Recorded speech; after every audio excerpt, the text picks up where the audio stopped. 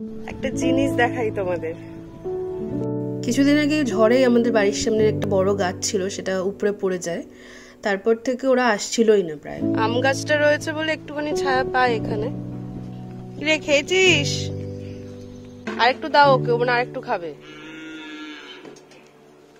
আরেকটু খাবে শেষ হয়ে গেছে ওর জল। তো আজকে লোকনাথ বাবার পুজো ছিল আমি আর মা পুজো দিতে বেরোচ্ছিলাম তখন দেখি ওরা এসে দাঁড়িয়ে রয়েছে। তো দেখেই আমি বুঝেছি জল খেতেই এসছে হয়তো। আর বাড়ির সামনের গাছটা নিয়ে ভাবনা চিন্তা চলছে। আশা করছি খুব তাড়াতাড়ি সেখানে একটা ফুলের গাছ আমি বসাবো।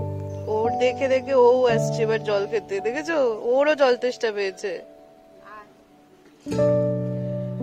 সর, সরে যা, এবার ওকে খেতে দে। সরে যা।